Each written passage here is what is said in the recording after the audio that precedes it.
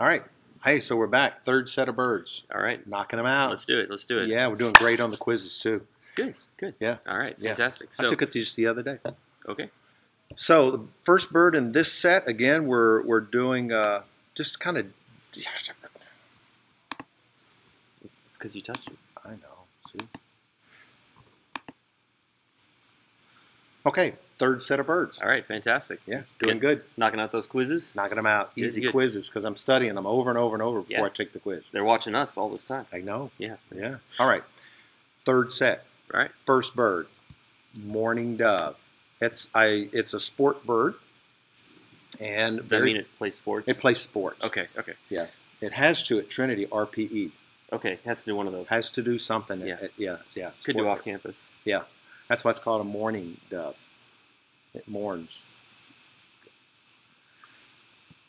So it's called the mourning dove, Right. not the morning dove. Right. So Not- not, an A, a U. Right. Okay. So it's not, or no, no. What? It's not uh, night day dove like Right. morning. Right. It's mourning as in sad. Okay. So it's it's not like it get up. It gets up in the morning. and- Right, And, that's when right. it likes to like start its day. And that's why you hear them in the morning, but that's not what it No. is. It's mourning because when you listen to its call, it sounds like it's mourning or Got it, crying. Got it. It's Mourning dove. boo-hooing, Yeah. crying. Sad. Let's move on. Sad. Gray and brown in color, and it has a really cool blue ring around the eye if you can get close enough to see it. Or if you bring your binoculars, you can. And then it has black spots on the wings. So that's how you know it's not one of the other kinds of doves you might find. Uh, the black spots are helpful in that. Yes. I think. Because we have a couple more doves that have come into this area. Okay. You know, things are getting a little warmer. We've gone through a drought and things, and so we've got uh, the white-winged dove Yes. that's moved into the area. It has a distinctive white bar Kind of on the front of their. on the wing. Yeah. Yeah. Mhm. You know the other one? Uh, the Eurasian dove. Eurasian dove. Yes, it has actually kind of like a white. Yep. Or is it white or black? Yeah, white. A white. uh, collar on the back, basically. So Yeah, that's So- why they, they call it the Eurasian collared d- dove. Yeah. Yeah, yeah. Um, so if you're if you're if you're trying to tell the difference between the doves and a pigeon or something, this dove has the black spots on the wing. That's right. That's Yeah, smaller than a smaller than a pigeon. yeah yeah oh yeah much Yeah, smaller. yeah. Um, all right. Now we're going to move to the owls. Yes. Those are the nocturnal birds of prey. okay, so they they hunt at night. They hunt at night, Hunt night. nocturnal. And we have four of these. Yes, we do. Very difficult to, for the bird watcher to find, Yes, usually because they're asleep. that's right. Yeah. And they, they, they camouflage very well. We're going to Okay. talk about some of those things that cause them to camouflage. Excellent. So what's the first one here? First one is the barred owl. Right. Any idea how it gets its name? Um, well, see any bars? I, I think he has bars on his chest. Wow, Yeah, good deal. go. Yeah, hangs out at bars. No. No. It, uh, He's, see, he's been barred from the bars. barred from the bars.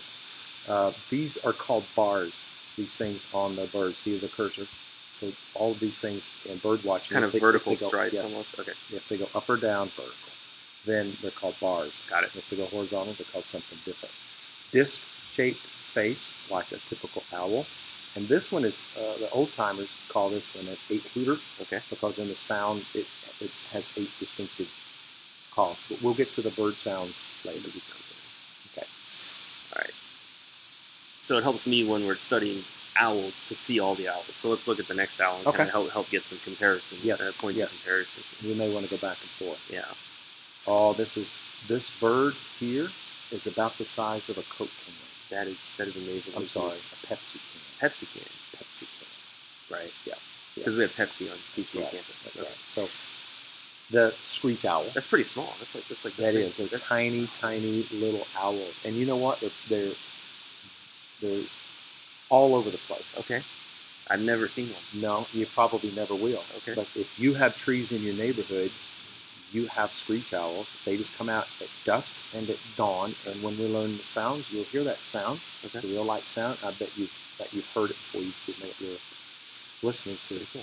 So they do have ear tufts. They do. That barred owl was just a round head. But exactly. these guys have little little pointy ears on yeah. them. Now, are these ears? But they look like ears. Yeah. I mean, don't can, owls have a good sense of sound? I mean, hearing, right? Yeah. But they're not ears. Okay.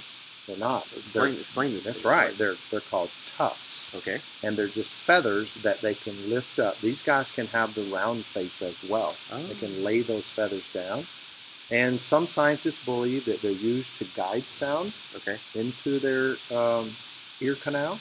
And some scientists say they're used for during the daytime when they sleep. hmm They stand those up and it looks like a broken limb. So it's even Oh. better camouflage. Helps with camouflage. Yeah. Okay. Okay. Okay. Yeah. So they're not ears. They're No. just some feathers that Yeah. might help their ears. Yeah. Okay. Yeah. So this does have a red phase and a gray phase. Yes. But they both have a pretty nice camouflage to blend in the trees. Look at that. So Isn't that cool? looks like tree bark here, and this guy would blend in maybe to a different kind of tree. Yeah. So. Yeah. Uh, yeah, and that's the different phases of the year. Okay. Different times of the year. Uh, winter, summer. Got it. Alright, this is our third owl. This is the great horned owl.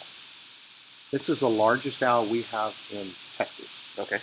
Uh, there are larger owls out west, but this is our largest owl and probably one of the more heavier birds, especially birds of prey. Okay. The great horned owl. Any idea how it gets its name? Well, I mean, they'd be those what we now know are tufts. That's right. But, okay. Right. So those tufts, they, again, they think they use those to sleep at night. Um, striped chest. Okay. Okay, so it has the stripes instead of the bars. Bars. So this is Remember the very different from the barred owl. Then. Yeah. So let's let's click back to him just to kind Let's of see. So here's the here's the barred owl. Yep. So these stripes go up and down. Those bars go up and down. Bars go up and down. Uh huh. And he does not have ear tufts. That's right. Okay. Monkey face. And the horned owl though Mm-hmm. has ear tufts. Ear the tufts. horns is That's name. And he has stripes. That's right. Okay. Right. One of the other characteristics that I like to point out is that the great horned owl has a white uh, ring around its eye, Oh, okay. Kind of an outlining there. Yeah. Like, go right there. Yeah. Okay. and it's a large owl you can see uh, in our silhouette. Okay. Look at their hairy toes. Oh, okay. Yeah. That's Yeah. That's kind of weird. I mean, we, we had a bird, the, the vulture, that had a bald head. Mm-hmm. Well, why would an owl have hairy toes? Well, what they think is is that these feathers, they're actually it's actually not hair. I use the word hair, Oh, feathers. but they're not. The bird. The, yeah, the feathers go all the way down to their talons because when they grab their prey, Mhm. sometimes those prey items will turn and bite whatever grabbed them, and they grab a would- mouthful of feathers Ah, instead of injuring the them. owl. Yeah, Okay, so it's, cool. it's a protective device. All right, let's look at our last owl here. Yeah. This is the barn owl. This is the Harry Potter owl. This is a Harry Potter. Yeah, I mean that's uh, the head, uh, Hedwig or whatever. Okay. so this is the Harry Potter owl. Yeah. Uh, it's got the got that nice white face Mm-hmm. and white chest Mm-hmm. and no ear tufts. No ear tuft. Okay, okay. Kind of, kind of a almost, almost heart shape. I Yep. mean, you, we've got moon here, but I also think maybe a little bit of heart Yeah. with a little, little Yeah. indentation there at the top. Exactly. There. Yeah. So Yeah. he has those hairy toes. Also Also, hairy toes. Most owls do. Right. Yeah. Lives in barns back in the medieval days. so that, that's you know, and you when you when you think of Halloween, this is kind of the ones that you see because they lived in barns. People would go in. You had this white thing flying at them, so they were a lot of times mistaken for ghosts. Okay, yeah, I'd be, I'd be scared walking into Yeah. a barn. You know, when owls fly, they don't make sound. Okay. The ends of their feathers are frayed, and so when it cuts through the air, it's it's pillowy.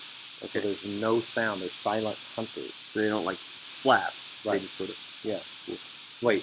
So I'll do a hawk Okay. sound when it flies, and you do an owl sound when it flies. All right, Ready? do the hawk. So when a hawk flies, it goes, Okay. and when an owl flies, that's right. I like that. All right. Good. Okay. Very nice. Yeah, yeah, you got that. I'm not gonna touch it.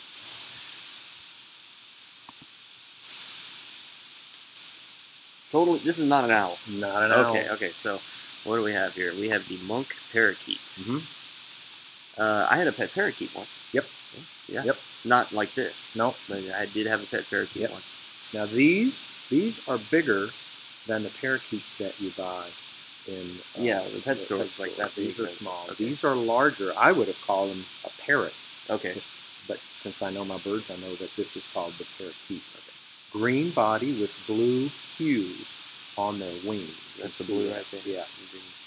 They they uh, back in the fifties, somebody in Dallas around White Rock Lake released some of these guys. Okay. Probably got out of the house, and they are doing quite well. They have a nice colony on White Rock Lake, and uh, hopefully we'll get to see them. It should be fun to see. Do Yeah. you know why they call them monks? No. I, I think they have a vow of silence. Oh no, they don't. no, they don't. They're very squawky and loud birds. okay, so it's not that. Yeah, it must not- be something else. Yeah, it's got to be whatever it is. something else. Yeah. All right. This is belted kingfisher. This is actually one of my favorite birds. Okay. To try to find. I, I mean, if, if, if you ever find it, Mhm. I just think they look really cool Yeah. of, all, of all the different birds. Well, tell So- me about it. So this is this is the belted kingfisher. Uh, what what what he, what they will do? They live along the shorelines of a river or, or a Mhm. stream or something like that, and they actually build nests not out of twigs like we think of with birds. They will actually burrow nests back into the side of, of the banks of the stream. Oh, cool. Yeah, so they, they will they actually do uh, they do fish. That that is what they Uh-huh. do. They will uh, either perch like you see the one right here, or sometimes they'll even hover, kind of like this one over here. Oh, cool. And when they're ready, they'll dive into the water, get their fish, and they'll take it back to their nests that are actually dug into the sides of the of the banks. So, because they're fish catchers, Mhm. I bet that's why they have that real short spout. Yes, Beak. yes, that that is there to either either grab the fish whole or to, Yep. or to or to stab it and bring it back to when they can eat it. And you know what they'll do is they'll catch a fish, go up to a limb of a tree, Mhm. and you know they don't have arms, No, they have wings but Yeah. no arms. So and the head of the fish has to go in first okay, because of the way the fins are designed. yeah, scales. yeah. So with their beak, they'll flip that fish, okay, flip it, flip it, flip it until they got it ready, Uh-huh. and they'll flip it up in the air and catch it head first nice. And swallow it. It's kind of like during the snack and announcement time when we take the popcorn and throw it up in the air. It's kind of like that, right? Except you got you don't have to catch it head first. Right, I've seen seventh graders woof down Yeah, like yeah. a belted kingfisher. There you go. Okay, so the blue body Yep. has that blue body with the red chest, and it has that white stripe. Sometimes we call that white stripe a white collar. Okay, but that's the belt, right? That's where it gets the belted from. Right. Is, is, is Right. that is that stripe? Yeah. Um, now this actually this is the one that I mentioned in that other video. This is actually the female. Okay, So the male actually is lacking the the red coloration. so it's just all white. It's just all white. Wow, so the female has the brown belt, and that and so this is one of the ones that we'll show you the female, just Huh. because it has the distinctive belt in the name Nice. of the belted kingfisher. Uh, the back has a few little white dots or stars. Uh-huh. So in case you have a picture on a quiz that only shows the back of the belted kingfisher, that's still pretty distinctive. It's a nice, nice blue color with those little white spots. Nice belted kingfisher. How many more? Uh, I think One three. I one, think we three got more. uh, three One. more in this set. Okay, well, I'm say All right. this is one of my favorite birds. Oh well, there you go. Yeah, The cuckoo. Yeah. That kind of figures.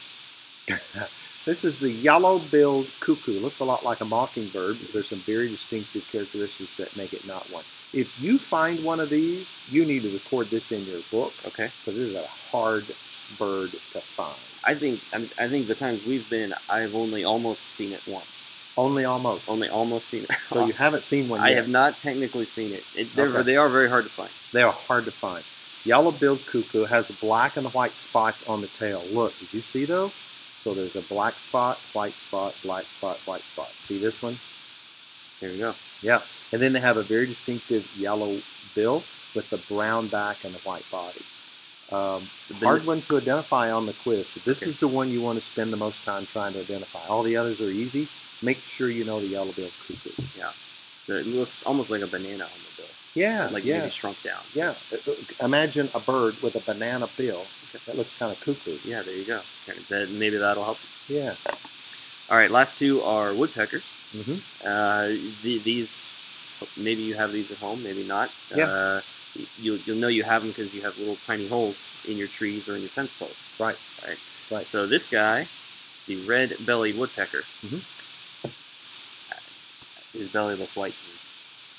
Yeah, it does, Yeah, yeah. So? And you see red on the head. yeah. So why isn't he a red-headed woodpecker? Because we already have a red-headed woodpecker. Gotcha. He got Yeah. discovered first. That's right. And it has a solid red head. Okay. This dude doesn't. Okay. This is so we went to the belly, Okay. and you hardly ever get to see the belly. Because they're all up, they're always on the tree. Always against the tree. Okay. But you'll see that it's kind of pinkish or red Okay. on the belly, especially on the males. Okay. And they do have the red flaming hair. You know, back in the '70s, I had a mullet that looked a lot like that. Nice. Yeah. Red. Okay. It wasn't red. Okay. It wasn't red, but it was shaped in that same shape like a mullet. We'll have to find that picture. Some people would call this a ladderback Okay. woodpecker because it has these black and white those bars, bars Like that was waiting on that mm-hmm. that go across. So this one is a fairly large woodpecker. I'm going to say. Can you tell how big that is? Big as your head. Not quite as big as my okay. hand. Okay. Not quite as big. Okay, and I'm telling you that because the next woodpecker is small, like the size of a sparrow. Okay, the red-bellied woodpecker. This is the last. Downy woodpecker. Yeah, the downy woodpecker. He looks. He kind of looks smaller. I know it's hard Yeah. to tell in the pictures. Yeah. But he, he looks like he'd be smaller. and doesn't doesn't his feathers look kind of fluffy Yeah. and downy? Downy. Oh, okay. Okay. So like the like the like the teddy bear. Yeah, yeah. commercial. Yeah, yeah. So a tiny little woodpecker. Uh, I think this is the male because it has the red, and uh, most of the time the females don't have that red. It's just black and white. Okay. Uh, has a gray, gray little spot on the back, but these are much smaller Got than it. its cousin. And it's not. So it's not the ladder. back. No. There's not those stripes. Not it just maybe a solid white stripe. So yeah, go back and look at the difference between the two, and uh, learn them so you can tell them. Because in pictures it's hard to tell size. Right. That's right. why we tried to give you the silhouette.